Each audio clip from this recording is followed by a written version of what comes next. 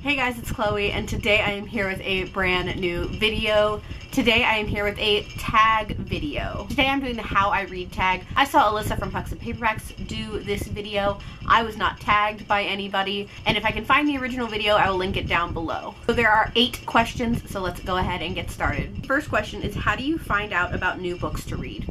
A lot of the time it's through BookTube, and another good portion is through Goodreads. Goodreads is where I find books that I had no idea were coming out. Um, maybe I've never read the author before, maybe I've never heard of the author before. That's how I find a lot of books that I'd like to read. Question number two, how did you get into reading? Um, I think I think it was when I read Harry Potter because I remember I started Harry Potter in fourth grade and I took a break after the first book for some reason. I don't know why. And then I read them in fifth grade and sixth grade. Um, so I think that's really what got me into reading, and I think that's what gets a lot of people into reading is Harry Potter. Question number three: How has your taste in books changed as you've gotten older?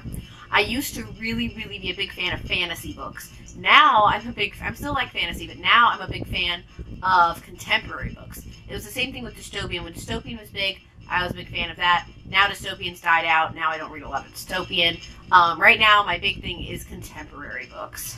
Question number four: How often do you buy books? Um, not as often as you would think. Um, because I don't do monthly hauls. I do a haul whenever I feel like it. Um, so not as often as you would think, but I tend to buy. It's scattered, like maybe one every couple of weeks because I'm part of the buy sell trade group on Facebook for Owl Crate. I've bought maybe five, four, no, not even five books, like three or four books from there. Um, and then occasionally I'll buy something from Amazon or Book Outlet. It's really not often as you would think. Question number five How did you get into booktubing? Um, I was going to participate in NaNoWriMo years ago. This is like six years ago now. Um, and I was looking for videos on YouTube of different like tips, tricks, stuff like that.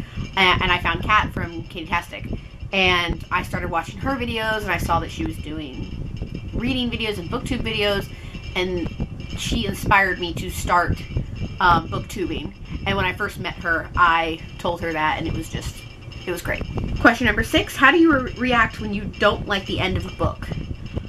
Um, I feel like I don't have big reactions because normally when I'm reading them by myself, um, and I'm like I have internal reactions more than external reactions. Question number seven, how often do you take a sneak peek at the end of a book to see if there's a happy ending?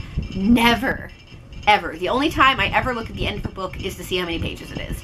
Um, but I know somebody who does that, but I'm not going to call her out for it.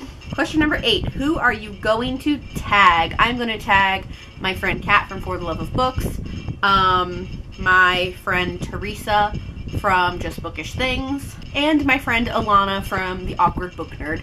And all four of us are going to be at BookNet Fest together, and I'm so excited to see these girls again. I see Kat all the time, but I don't get to see Teresa and Alana a lot, so I'm really excited for all four of us to get to be together. Guys, that is all I have for this tag video today. I hope you guys enjoyed it. As always, if you'd like to check out my vlog channel, Coalescence, it's linked in the description below. And if you'd like to you see here, please go ahead and click subscribe. I post new videos every Wednesday and Saturday, so click subscribe to be updated for when I post those. Thank you guys so, so much for watching, and I'll see you guys in my next one. Bye!